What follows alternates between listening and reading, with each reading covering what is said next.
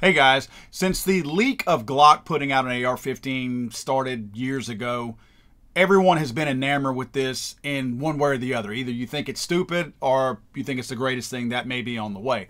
Well, we've actually got the first pictures of this now. Uh, I got these from my friend John Crump over at John Crump News. Please like, subscribe to his channel. John was the first place that I saw this stateside who got this information. John got it from a British military guy named Sean Odinson. That's who uh, John credits. But again, I got this from John Crump. Please go check him out. As you'll see, this looks like an AR-15 with a Glock logo on it. What I don't understand about this carbine, and I'm not opposed to it at all, is why. It doesn't look like there's anything changed. I don't know if they did something with the gas system. If you can peek inside the handguard, it doesn't appear to be anything different. Um, I don't see anything crazy different about it. In fact, it's kind of unusual to me that they're using all Magpul furniture because that is what it appears that it is.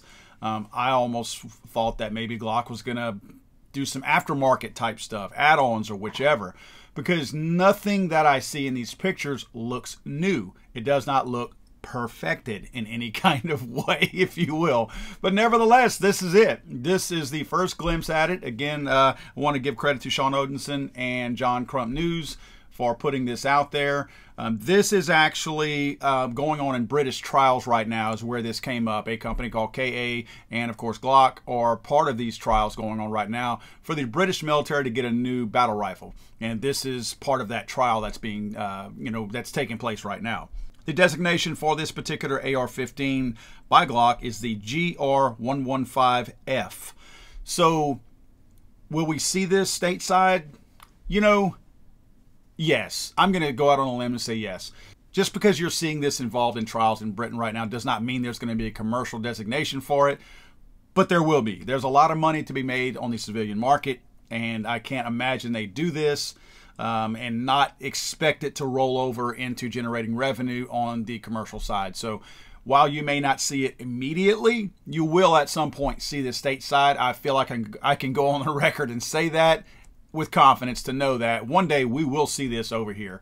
But uh, interesting to see this nonetheless. Uh, again, I'm not opposed to it at all. I mean, I'm okay with anybody, especially with a big name like Glock getting into this with the amount of funding behind Glock, the amount of money that they make, the amount of interest that they generate.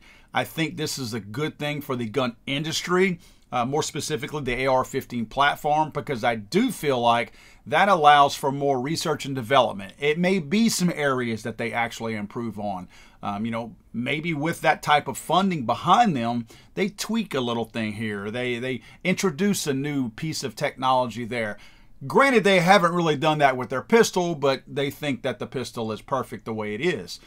The good thing is the angle of the grip seems to be a little bit better of an angle than the grip is on their pistol. And that's the only downside that I have ever had to that pistol by Glock is that freaking grip angle. So I am happy to see that there is a more appropriate angle to this particular AR-15 than what Glock already has on its current handguns. Just making fun here, guys. No, no reason for the Glock guys to burn my house down over this.